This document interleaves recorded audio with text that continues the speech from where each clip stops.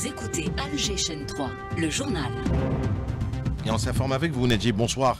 Bonsoir Hakim, bonsoir à tous. Le président de la République a accordé une audience au ministre des Industries minières et de la géologie de la République du Congo, Pierre Oba, qui a durant son intervention à l'issue de l'audience mis l'accent sur le potentiel de coopération entre les deux pays, notamment dans la production de phosphate et de fertilisants. Nous l'écouterons. Le ministère des Affaires étrangères dément des propos attribués au président de la République et indûment rapportés par un organe de presse privé détaille dans quelques instants. Projet de loi de finances 2025. Après les débats qui ont duré plusieurs jours, les députés ont adopté à la majorité le texte et les amendements proposés. Un texte qui va être désormais soumis au Conseil de la Nation. Une première en Afrique connaît connectivité. Algérie et Télécom lancent dès demain le début ultra rapide de plus d'un gigabyte sans que les tarifs changent.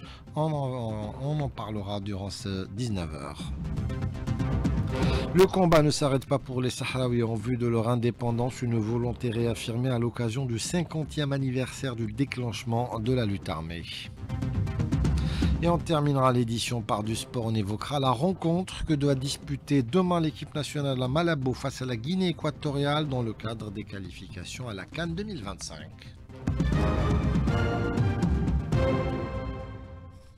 Bonsoir et bienvenue à cette édition. En visite depuis lundi dernier, le ministre des Industries minières et de la géologie du Congo, Pierre Oba, reçu aujourd'hui par le président de la République. Euh, une audience à laquelle assistait également euh, Boalem Boalem ainsi que le ministre euh, de l'énergie, Mohamed Arqab. À la sortie de l'audience, le ministre congolais est revenu sur le potentiel de coopération entre les deux pays, notamment dans la production de phosphate et de fertilisants. On l'écoute.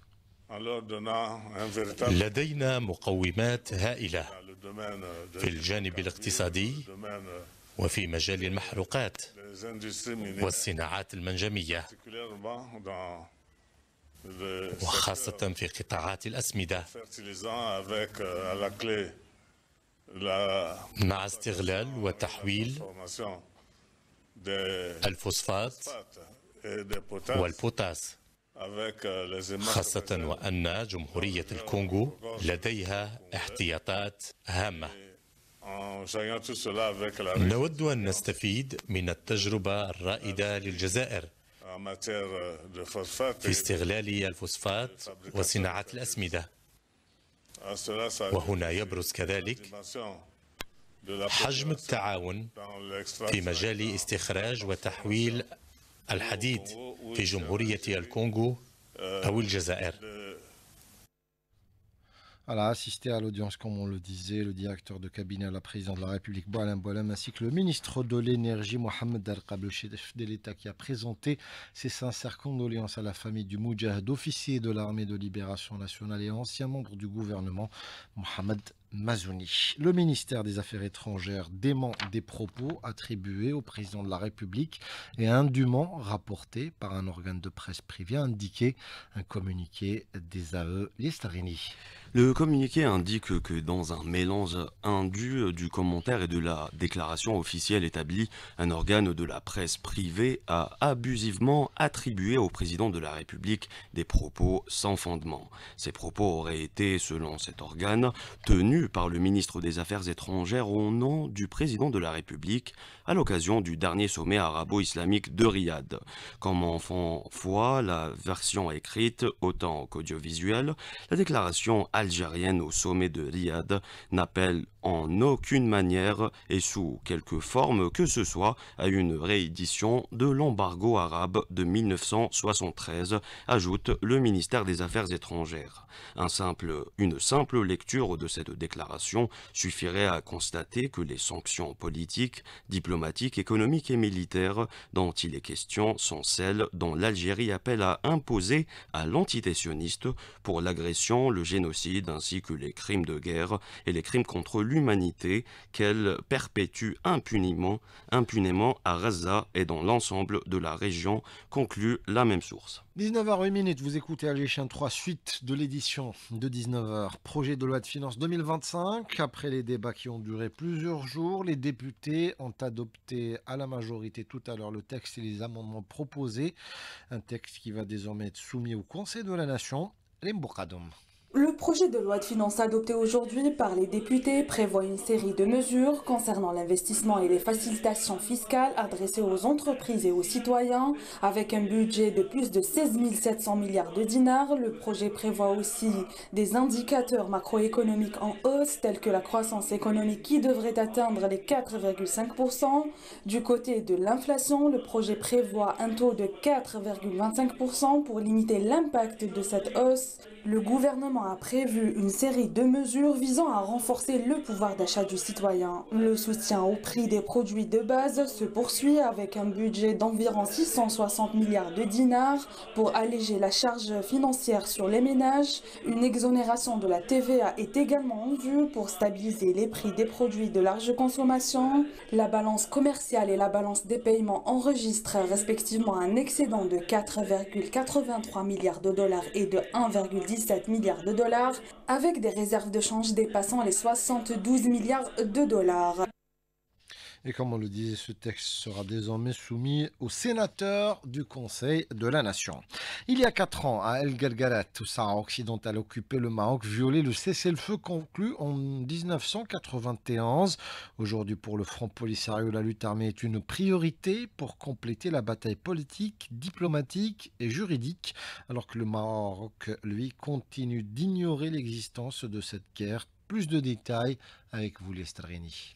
Le peuple sahraoui déterminé à arracher son indépendance, face aux agressions marocaines, l'accent est mis sur la nécessité de poursuivre la lutte armée. Le représentant du Front Polisario en Suisse et auprès des Nations Unies évoque une mobilisation importante sur plusieurs fronts. Oubi Bouchraya Bachir. Le quatrième anniversaire de la reprise de la lutte armée au Sahara occidental euh, suite à la violation par le Maroc de l'accord du cessez-le-feu intervient dans un contexte très particulier pour la cause sahraoui, à la fois compliqué mais aussi prometteur. On voit une mobilisation totale euh, dans les quatre fronts de la résistance sahraoui, le front militaire, pacifique aux zones occupées, diplomatique, mais aussi euh, la consolidation des institutions sahraouides. Si le mandat de la MINURSO a été prorogé, la responsabilité des Nations Unies qui peinent à parvenir à une solution politique est encore une fois pointée du doigt. Omar Abdeslam, président de l'Association des familles des victimes et des prisonniers sahraouis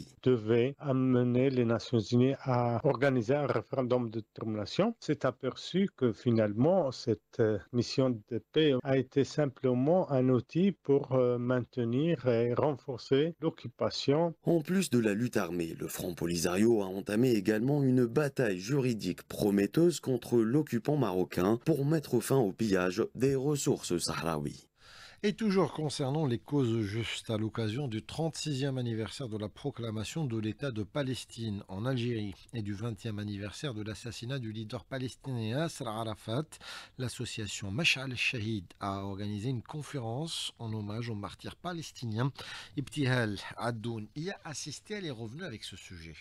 Dans une allocution du président du Conseil de la Nation, Salah Koudil, le Parfouet Sebouta, membre du Sénat et premier vice-président du Parlement arabe, a rendu hommage à l'héritage du président palestinien défunt Yasser Arafat, rappelant son engagement indéfectible pour la cause palestinienne. Yasser Arafat, qui avait proclamé l'État de Palestine avant sa mort, a sacrifié sa vie pour cette cause, luttant jusqu'à son dernier souffle pour la justice et contre le colonialisme. Son souvenir reste vivant, marqué par son dévouement et sa lutte devient un symbole de noblesse et de sacrifice pour les générations futures. Dans cette allocution, l'Algérie, sous la direction du président Abdelmajid Tebboune, réaffirme son soutien inconditionnel aux droits du peuple palestinien à établir un État indépendant avec El Quds pour capitale. L'Algérie poursuit son appui à la cause palestinienne, plaidant pour l'adhésion complète de la Palestine aux Nations Unies en condamnant les actes de génocide et les sanctions contre l'occupant. L'Algérie continue d'exiger la fin de l'occupation et appelle le Conseil de sécurité et la communauté internationale à prendre leurs responsabilités envers les peuples colonisés.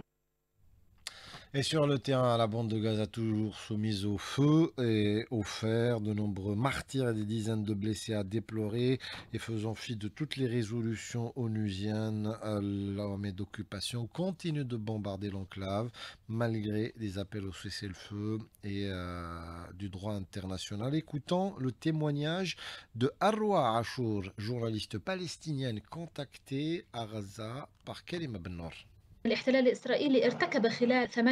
L'occupant sioniste a commis de nouveaux massacres les dernières 48 heures. Cinq génocides contre des familles à Raza. 62 sont tombés en martyrs et 147 blessés ont été transportés vers l'hôpital alors que d'autres victimes sont restées sous les décombres. Les secouristes n'arrivent pas à les atteindre. En plus, les Américains qui déclarent que l'entité sioniste avance dans l'acheminement des aides aux Razaouis n'a rien à voir avec la réalité. La famine au nord de la bande s'est propagée horriblement. Les personnes ne prennent qu'un seul pain par jour et rien d'autre depuis un mois. Même au sud de Raza, il n'y a pas de nourriture et la situation s'aggrave de jour en jour.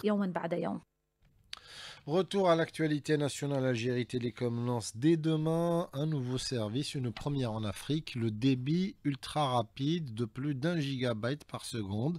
Les tarifs ne changeront pas pour autant selon le directeur de la communication Azdin Hirak. Il est contacté par Linda Hamed pour la première fois en Afrique le lancement d'une nouvelle offre Internet haut débit ultra rapide allant jusqu'à 1,2 gigabits par seconde. Ce nouveau débit vient s'ajouter à d'autres euh, nouveaux débits sur les offres euh, Idon Fibre. À titre d'exemple, je cite 30 euh, mégas, débit 60 mégas, débit 120 mégas, débit 240 mégas, débit 300, 500 et 1,2 gigabits par seconde à partir du 14 novembre 2024 et je dirais très simplement que les débits augmentent, mais les tarifs euh, ne changent pas pour nos clients. Donc euh, c'est une volonté de notre entreprise à continuer à développer ses services et à continuer à moderniser et déployer son réseau pour toucher tous les Algériens où qu'ils soient dans notre euh, vaste territoire. Donc nos clients sont chaleureusement invités à se présenter au niveau de nos agences commerciales pour avoir plus de détails ou sur le site web de l'entreprise où tous les supports digitaux sont à leur disposition pour euh, augmenter leur débit ou pour souscrire à une nouvelle offre. Page culture à présent, vous voulez aller aussi là, mais vous avez des enfants en bas âge qui risquent de s'ennuyer. Eh bien, les organisateurs du salon ont pensé à tout. Ils ont aménagé des espaces récréatifs pour occuper les tout petits, les petits et les moins petits. Reportage, Maïssa Smail.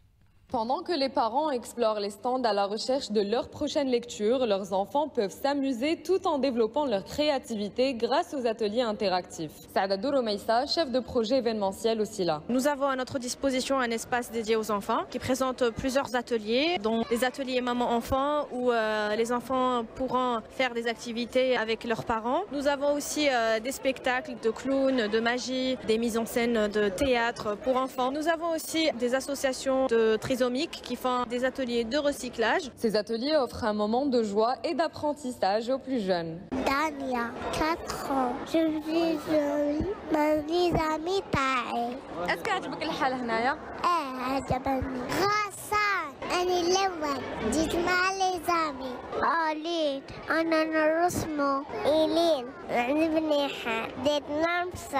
L'espace situé dans la salle Ahgar accueille petits et grands tous les jours de 10h à 18h, faisant de la visite au salon une expérience enrichissante pour toute la famille. Et on arrive désormais à la page sport de cette édition pour évoquer le football et le match Guinée équatoriale-Algérie demain à Malabo pour le compte de l'avant-dernière journée des éliminatoires de la Cannes 2025. Nassima Djaout. Les Verts sont déjà à pied d'œuvre à Malabo, capitale de la Guinée équatoriale, en prévision du match de demain, jeudi, prévu à 14h à Malabo pour le compte de la cinquième et avant-dernière journée des éliminatoires de la Cannes 2025. L'équipe nationale s'est contentée uniquement de deux séances d'entraînement au centre technique national de Sidi Moussa avant de rallier la Guinée équatoriale. 48 heures avant le match, les Verts se sont présentés à Malabo avec un effectif complet. Cependant, deux absences, Bachir Belloumi et Brahim Maza pour blessure. Sinon, les autres joueurs sont tous aptes pour cette rencontre où l'objectif des Verts est d'enchaîner un cinquième succès de suite dans ces éliminatoires afin de réaliser le carton plein dans cette compétition On écoute justement l'attaquant algérien Bardet Bounedjah sur la rencontre de demain face à la Guinée équatoriale. Match officiel, euh, match. Euh, Ce sera un match officiel. Il est important de le gagner pour améliorer notre classement. Ça va être un match difficile. Nous n'avons pas eu beaucoup de temps pour préparer le match contre cette équipe de la Guinée équatoriale. J'espère que nous serons à la hauteur et nous ferons un bon match. Les conditions vont être difficiles. Nous allons jouer à une horaire inhabituelle, mais nous allons tout faire pour amener les trois points à la maison. Les coéquipiers de Riyad Mahrez ont effectué un dernier entraînement aujourd'hui, cet après-midi à 14h, à l'heure du match à l'Estadio de Malabo. Je rappelle que l'équipe nationale est déjà qualifiée à la phase finale de la Coupe d'Afrique des Nations. Elle occupe la première place du groupe E avec 12 points. Et voilà qu'on arrive à la fin de cette édition réalisée par Sidali et Tobal Ali Laouis. Tout de suite, le point météo avec Benange.